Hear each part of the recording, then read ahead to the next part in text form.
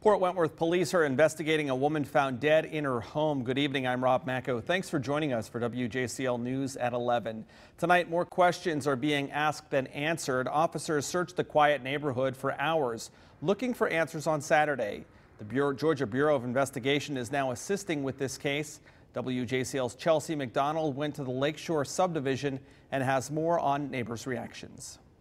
It's a fairly quiet scene now, but neighbors are still in disbelief after seeing police investigators going door to door when a woman was found dead in her home. Initially, I walked up, knew it was a crime scene. That was, a, you know, disarming.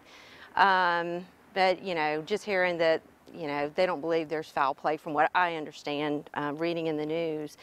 But um, yeah, it's a little stunning. Andrea McMahon walks her dog around her neighborhood daily, and she says her neighborhood is quiet. Everybody seems very friendly. People sit out, walk their dogs all the time. Uh, we always walk at night. You know, everything's just fine, quiet. But another neighbor who doesn't want her identity revealed says it's not as neighborly as she would like to think. It's uh, disconcerting, obviously. Um, you know, and you you'll go walk your dog, and people seem very friendly. It's like hello, hi, hi, but pretty much everybody keeps to himself. You really don't know anybody. She says this doesn't make her feel safe in her own home. The incident down here, of course, has me concerned.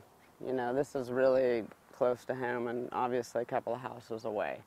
So um, I try to pay attention to what goes on in the neighborhood. Both neighbors are happy to see police in force looking for answers. They were out here the entire day yesterday. I mean, many hours. Um, a lot of police presence.